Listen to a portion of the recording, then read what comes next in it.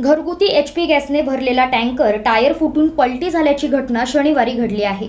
मल्हारपेठ पंढरपूर मार्गावरील चितळी हद्दीतील लामण वस्तीजवळ घरगुती एच पी कंपनीचा पंचवीस टन गॅसने भरलेला टँकरचा टायर फुटल्याने पलटी झाला.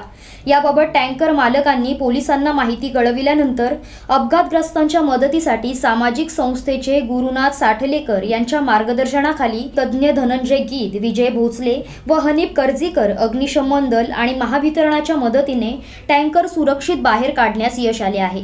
अपघात होऊनही गॅस टँकरला गळती न झाल्याने मोठी दुर्घटना टळली. रसायनीतील अग्निशमन दलाचे तज्ज्ञ धनंजय गीत विजय भोसले हनीफ कर्जीकर यांना पाचारण करण्यात आले होते. त्यांनी अतिशय चाणाक्ष पद्धतीने गॅस टँकर हाताळून अनर्थ टळला. या घटनेमुळे परिसरातील नागरिकांमध्ये काही वेळ भीतीचे वातावरण पसरले होते.